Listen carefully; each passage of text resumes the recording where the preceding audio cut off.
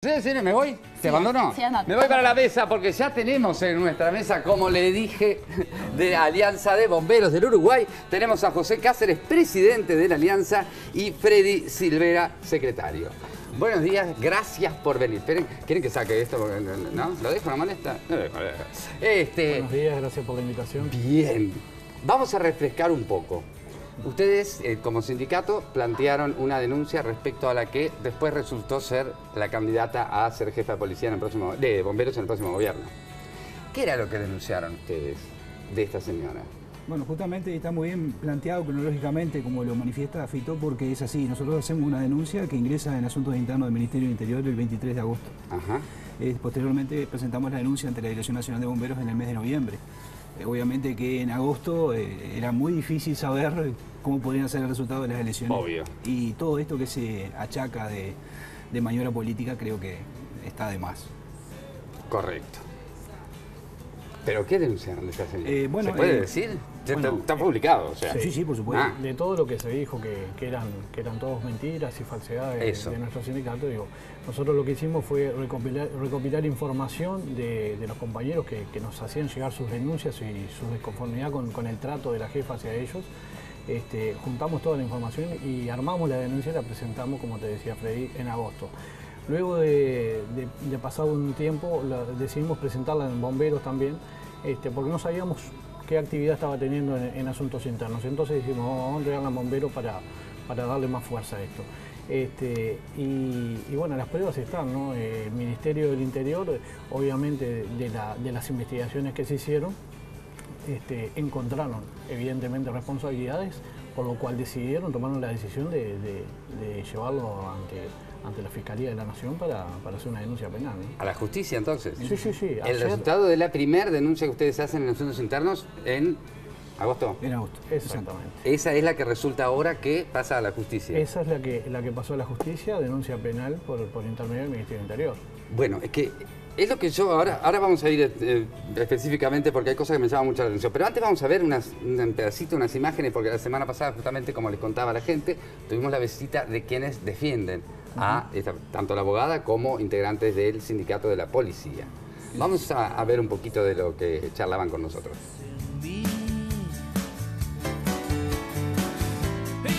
Lo que está desocupado en que se den las garantías del debido proceso, ¿no? Como a cualquier funcionario. Como a cualquier funcionario. Una Perfecto. investigación administrativa, así como un sumario, deben de ser reservados, deben de ser en secreto, porque así lo establecen las leyes. ¿no? Absolutamente. Por eso te dije lo que se puede decir. Claro, exacto. Entonces, nosotros estamos con un poco, como poco preocupados desde el área jurídica de CISPON por la exposición que ha tenido este caso. ¿Tá? Que, bueno, lógicamente creemos que la exposición, y así lo han dicho incluso los, los del sindicato denunciante, se debe al la- próximo claro. nombramiento de, de- de la funcionaria Claro, porque- como directora nacional de bomberos. Yo como delegado sindical eh, tengo que denunciar cosas, ¿no? Denunciar cosas que la Que traen los mal. compañeros, que la podemos corroborar y demás. Acá hay un hecho que está pasando, este, que lo dije el otro día en, en un- en una, en- una rueda de prensa también, este, que el tema acá de asumir a esta señora como directora nacional de bomberos, se van a descubrir muchas cosas que están funcionando muy mal dentro de la Dirección Nacional de Bomberos. Ujú. ¿ah? de la cual está involucrado el, eh, el- el comando de bomberos este, y el director, por supuesto, por ser el- la principal figura en este caso. Lo que yo te puedo decir de la compañera Pérez, que lleva unos años más que yo todavía, que es una pionera como mujer, porque fue la primer bombero oficial mujer que tuvo esta institución. Es un gran logro para una mujer este, y después de haber logrado llegar, tuvo una guerra constante de parte de sus compañeros este, varones por el hecho de ser mujer, porque en bomberos se decían que las mujeres no podían, que la carrera nuestra era muy difícil, el estar en un incendio y demás, sin tan siquiera mirar alrededor y decir, pucha, ¿por qué en Uruguay no hay bomberos mujeres y en el resto del mundo lo hay, no?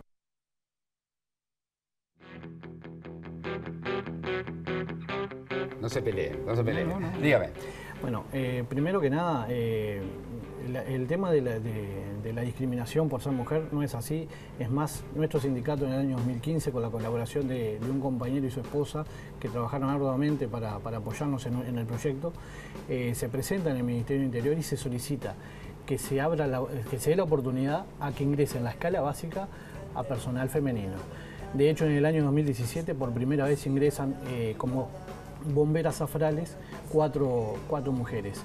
Y, ahora en esta tanda por primera vez van a ingresar en forma efectiva. O sea, es, eh, esto es algo que nosotros lo, hemos patrocinado desde el año 2015. No es así. Antes no había. No hay discriminación. No, antes no, antes no había. Antes no había mujeres, solo oficiales. Ah. Y con respecto a lo que dice sobre, sobre las lo que se puede destapar, que no se quiere que, llegue Claudia Pérez porque se puede destapar. Mucha cosa. Eh, no hay necesidad de esperar a, que llegue. Si ellos tienen cómo comprobar hechos de corrupción como lo hicimos nosotros, que lo denuncien. Es la obligación de ellos denunciar hechos de corrupción así como nosotros lo hemos hecho. Esto, Deberían. Esto de especular con posibles destapes cuando ella sea directora es, no más que un mero, la mera especulación de ellos nada más. Ahora, yo con todo respeto, ¿no? Porque ustedes presentaron esa denuncia en agosto. Si las situaciones que denunciaban eran las que yo estoy leyendo, eh, por ejemplo, que a todo el personal de Anchorena le haya dicho que se podían retirar a su domicilio porque iba a vacacionar ella allí en la estancia. Que dispusieron de que se trasladara para allí un bote neumático de Mercedes, o sea, dejando a Mercedes sin el bote neumático que era para evacuaciones o, rescates. Eh, dio la orden al encargado del destacamento de falsificar y adulterar documentación eh, reunió a todo el personal, le sacó los teléfonos para amenazarlos, diciéndole que si no decían quién era el que la denunciaba, este, le iba a hacer la vida cuadritos. Eso fue cuando se enteró que, nosotros habíamos realizado la denuncia. Bien, pero todo eso es muy fácil de comprobar.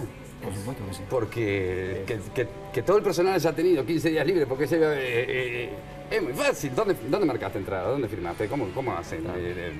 no sé. Bueno, en realidad eso también, lo de marcar o dónde firmar, era algo que también se hacía lo de falsificar la documentación en, el destacamento. ¿Se refería a eso? Exactamente. Eh, obviamente, ella daba órdenes de que eh, los escalafones eh, se hicieran en un horario distinto al que realmente cumplían los compañeros en el, servicio.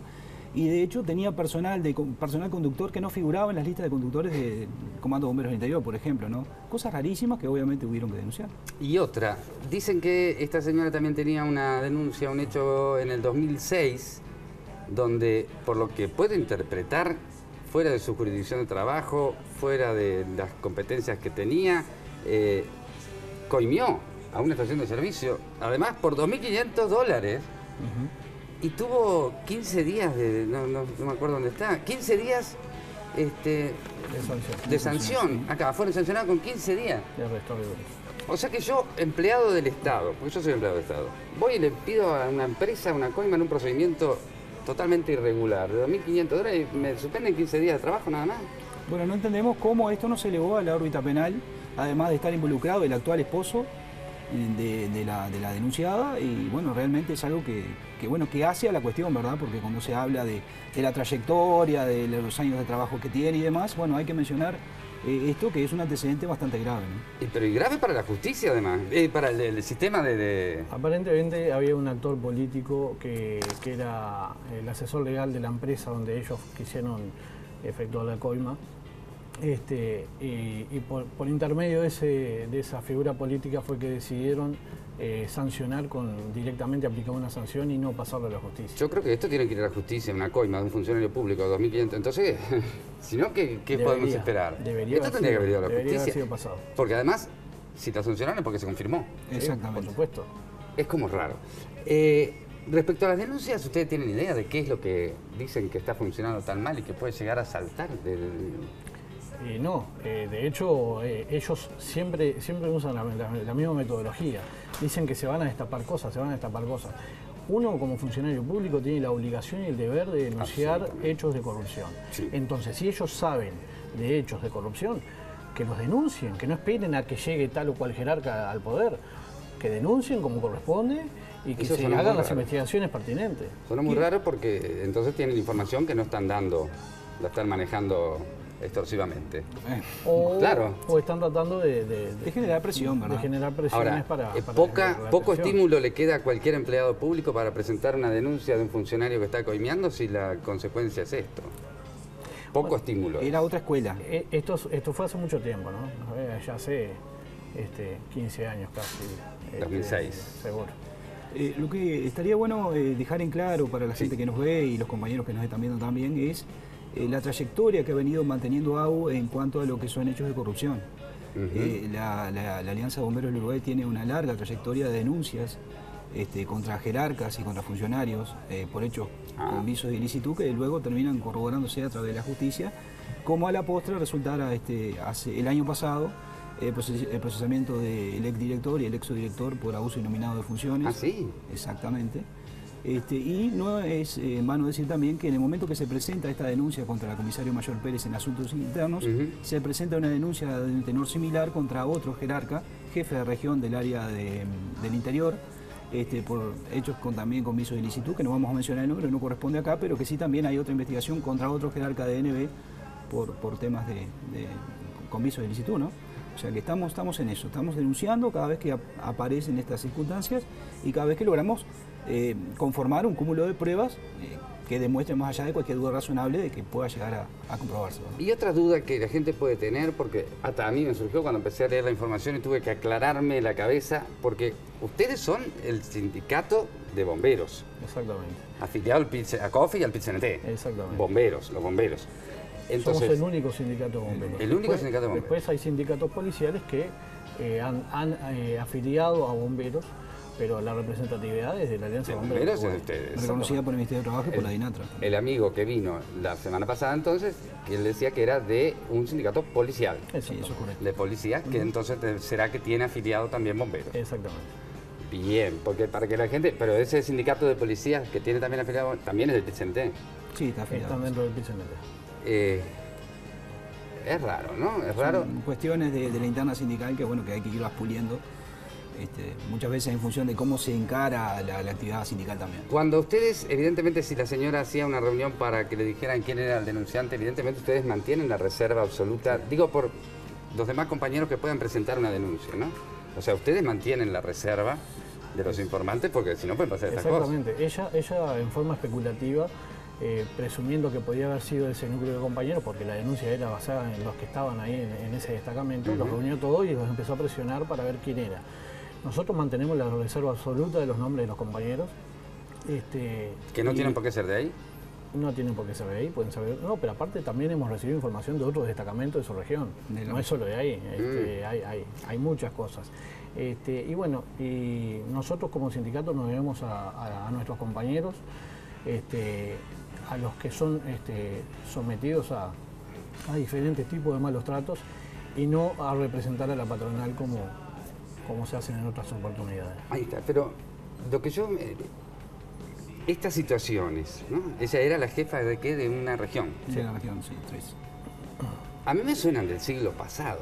Es decir, que a mí me llamen a una reunión acá o en mi trabajo, lo que fuere del público, y me dejan dejar el teléfono afuera de la reunión. es- Me suena de tácticas de hace mucho Claro, tiempo. eh, Los bomberos hoy por hoy están soportando ese tipo de trato todos los días. No, se dio en esa, en esa situación Ah, puntual. no es normal. No, no, no, no, no, no pasa, no pasa. Ah, lados. No, porque- No, a se la postre hubo que denunciar esa situación Claro. por, por- Se dio puntu- puntualmente con, con esta señora porque, claro, ella les quita el teléfono para que no la graben, cuando los está presionando y ejerciendo presión para que ellos este, dijeran, a ver, quién había sido el que la denunció, o para intimidarlos para que no denunciaran este, cuando fueran citados a, a to- a que se le tomen declaración. Pero además Pero- lleva premios verbales que existen, que digo que todos los compañeros lo sufrieron. Más allá de que les haya retirado los teléfonos y los haya aislado, ella los apremia verbalmente. O sea, es una situación muy incómoda para los trabajadores eh, ver que una persona con poder los apremia y los apura de esa manera, porque obviamente los pone en una situación muy, muy compleja. Cuando ustedes presentan la denuncia en asuntos internos, ¿se retira de ese cargo a, a la persona investigada? no, no, No. de hecho hasta el día de hoy sigue en el cargo. Ah, Lo que se quitó Ancho Arena de la supervisión directa. Pasó a depender de la dirección. Ese destacamento sí dejó de estar bajo la, la supervisión de ella y pasó a estar este, a depender de dirección. Y en varios trabajos que yo he tenido mm, eh, públicos, no, no se permitía que dentro de la misma oficina, por ejemplo, o, o- o que el jefe de una oficina fuera la pareja de... O sea, que, que tu pareja esté la- trabajando en el mismo lugar en, en dependencia o no. ¿Le hace una relación de sí? ¿Eso en bomberos también Tampoco. existe? Eh, no, eh, no no sé por qué se dio esta situación en particular, pero no debería haberse dado tampoco. Bien. Es como todo muy, muy entreverado. Para redondear entonces, la situación que ustedes plantearon, ¿en qué está hoy? Porque hubo novedades ayer, esto fue ayer. Sí. Bueno, evidentemente eh, de mentira no había, no había nada porque el propio ministerio decidió este, judicializar la denuncia, ¿no? Presentaron denuncia penal este, en la Fiscalía de la Nación por todos los hechos que corroboraron en, la, en la, investigación que se hizo en virtud de la denuncia de que se esto, aclaremos también que esto de denunciado no salió a la prensa en el momento que ustedes hicieron la denuncia en asuntos internos, de ninguna manera, y se mantuvo la, privacidad de todo lo que se estaba investigando, hasta que ustedes hacen la denuncia después en bomberos directamente. Sí, tampoco, tampoco hay una filtración de documentación. Ojo, nosotros lo que hacemos es eh, dar a conocimiento público la denuncia que nosotros realizamos. Las investigaciones que hace bomberos, eso, nosotros no tenemos acceso a esa información, o sea que de nuestra parte no hay divulgación de, ningún, ningún, acta. Perfecto, muchísimas gracias por habernos visitado, ya lo habíamos anunciado la otra vez, porque nos gusta escuchar las dos campanas. En este caso, además, en el medio hubo una confirmación de que lo que ustedes estaban planteando por lo menos es lo que más acerca a la verdad. Decíamos aquello de lo que era una confabulación o lo que era una conspiración, me parece que ya no tiene asidero. De hecho, de los 23 puntos que denuncia la Alianza, eh, el Ministerio, no sabemos si son los mismos puntos, pero el Ministerio, eh, cuando judicializa la demanda, eh, mantiene 23 puntos ah, como 23 hechos ilícitos a ser investigados, ¿no? Ah, claro. Entonces, digo, serán los mismos, no serán, habrán agregado algunos, habrán retirado otro, pero bueno, muy lejos del tema no andábamos. Me alegro que el sistema funcione en ese aspecto, por lo menos ahora. Muchísimas gracias.